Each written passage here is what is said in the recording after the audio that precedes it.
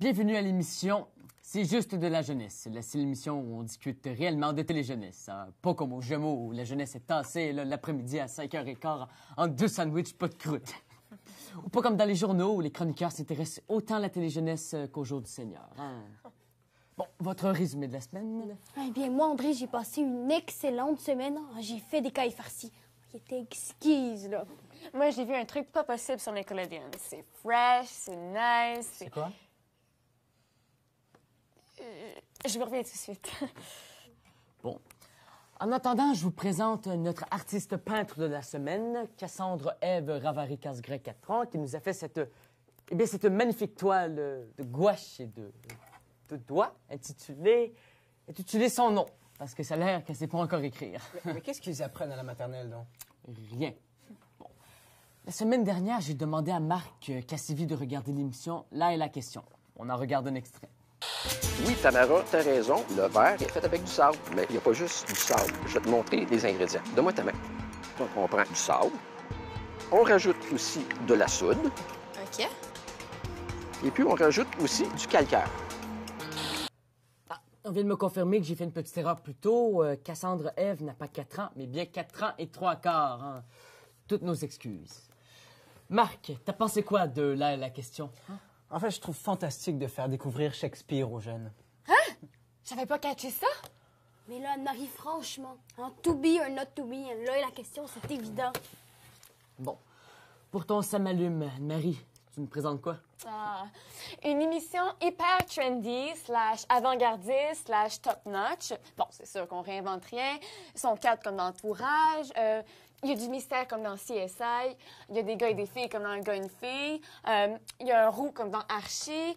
Puis euh, il y a un vélo comme dans mon salon. Mais c'est fresh, c'est nice. C'est quoi? Le club des droits croisés, The Cross Fingers Club. Ça- a presque l'air aussi bon que mes cailles farcies. Euh, Je vous ai dit hein, que j'ai fait des cailles farcies. Oui. Bon, on en regarde un extrait. De mes cailles?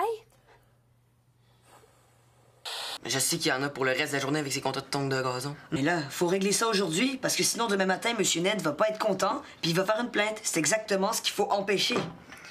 Je pense à quelque chose. Ça peut pas tout régler, là, mais ça peut nous faire gagner du temps. On a demandé à nos téléspectateurs euh, quelle était leur émission jeunesse préférée, animée par un comédien qu'on a pu voir dans Et la vigueur, Bon cop, bad cop, et un joueur de football né à Montréal en 1983, ayant fait ses études secondaires au collège Jean-Eudes. Oui, c'est un petit peu vague comme question. Mais les réponses sont très précises. Tous sont unanimes. Il s'agit de l'émission Les Testeurs. Oui, on en regarde un extrait.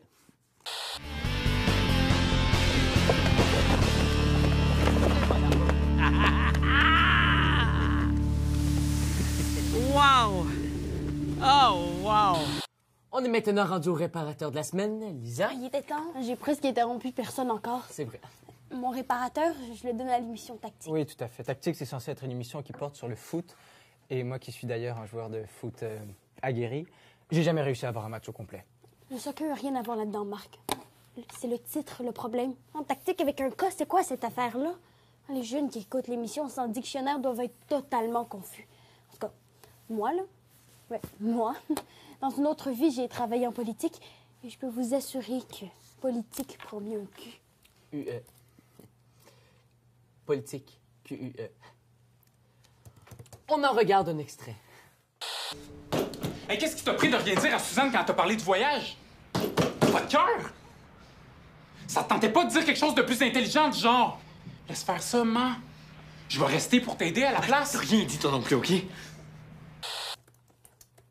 Politique QE. Mais je viens de comprendre.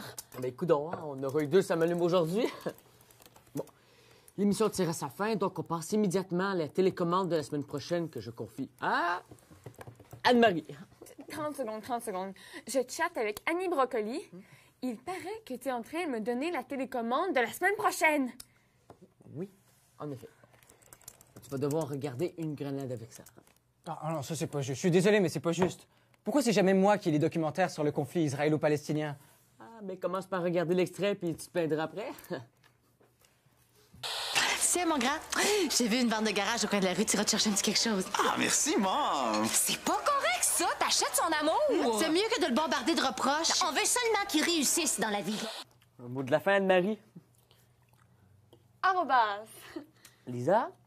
Caille farcie. Oh! Anne-Marie, est-ce que je peux faire cuire mes cailles sur ton laptop? Ben, la semaine prochaine, hein? J'ai mal au cœur. S'il te plaît.